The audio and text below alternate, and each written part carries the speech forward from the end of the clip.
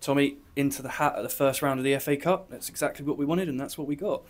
Yeah, I mean, I was really pleased with the way we started the game. I thought we put Bath City on the back foot, um, and we knew the way that they wanted to, their route to goal was very different to ours. Um, but you got to respect that, and you got to deal with it.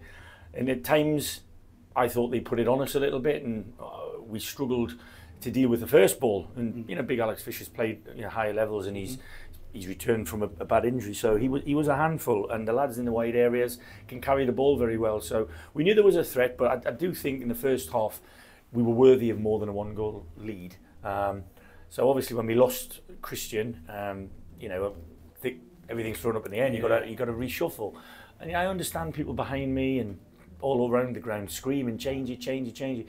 But I've got a thing about you know I just I understand.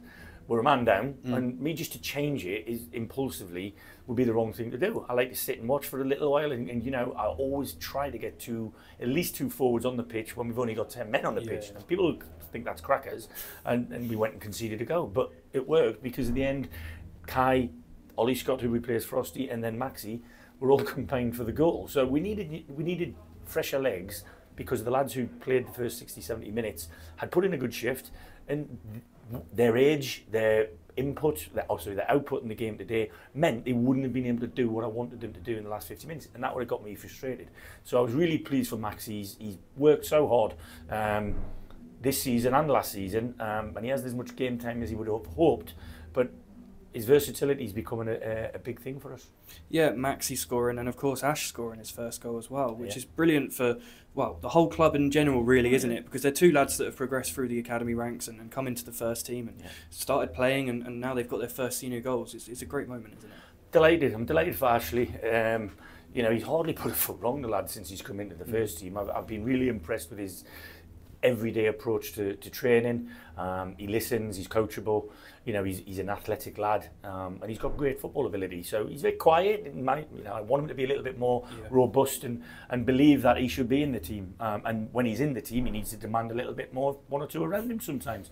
Um, but yeah, it's, it's brilliant for Richard and everybody in the academy because I said when I come in, I, you know, I, I genuinely believe my my biggest assets as a football person are recruitment and emerging talent. And I just, I believe that a lot of the players here, whilst they might have been 23, 24 when I got here, they're better players now than they were when I got here. So, you know, not just me, the coaching staff and everybody who's putting input in need to trust us, need to trust we know what we're doing. And, and um, I think we're in a better place now than we were this time last year.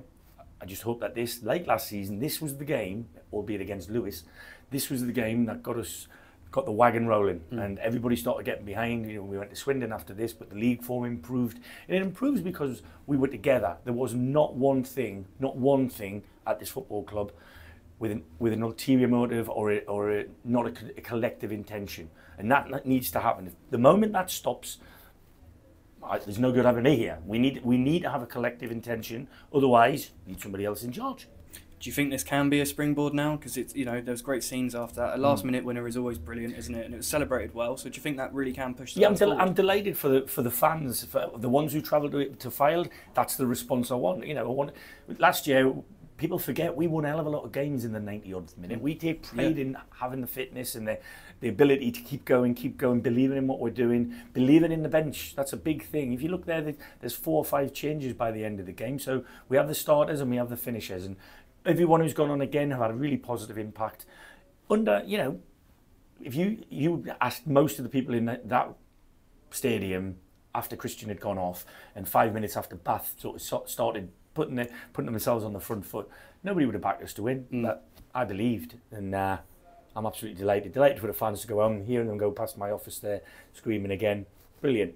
Yeah, you've got to be proud of the response, haven't you? Because it can be tough when you go down to 10 men. And then I guess when they equalise as well with their first shot on target of the game, that's going to be a bit demoralising, isn't it? Yeah. So to, to turn it around, that's, that's, that's great character. Absolutely, like you said, Jody hasn't really had a save to make. You can't put that at his feet. He has a free free touch in our six or seven yard area. Um, so you know they scored the goal. We have to dust ourselves down and get on with it. It's been dead easy for us to sit back and say, okay, let them put the ball in the box and we'll defend the box and see it out and go down to you know Twerton Park. Excuse me, uh, on Tuesday night. But thankfully we're not. We're here, and I do hope people come out and watch us against Derby County because it'll be a different kind of game.